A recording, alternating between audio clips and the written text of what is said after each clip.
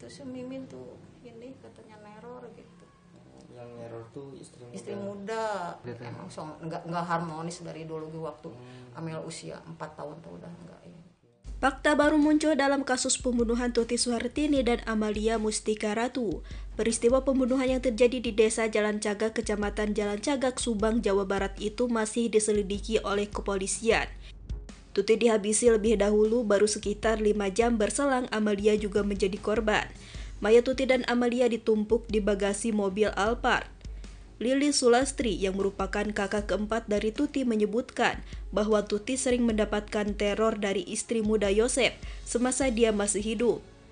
Teror itu datang melalui pesan singkat WhatsApp dengan kata-kata yang dinilai tidak wajar. Menurutnya untuk permasalahannya sendiri dia tidak tahu betul apa tujuan dari istri muda yang dianggap meneror terus-menerus kepada adiknya tersebut.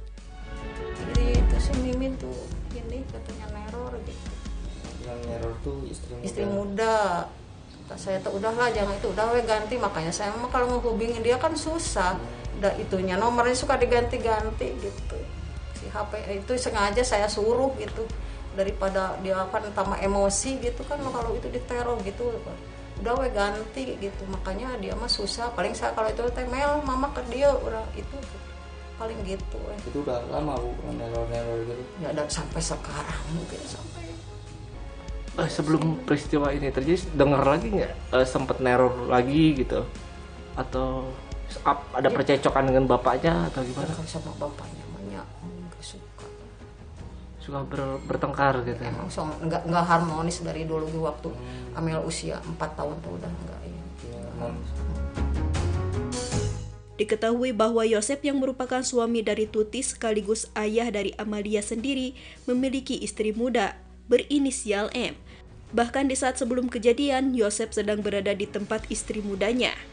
Sementara itu, istri muda Yosep juga menjalani pemeriksaan di Satreskrim Polres Subang selama 10 jam sebagai saksi.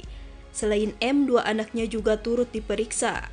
Penasehat hukum M saat dihubungi menyebutkan bahwa M diperiksa polisi seputar keberadaannya pada Rabu 18 Agustus atau 17 Agustus 2021 saat kejadian pembunuhan.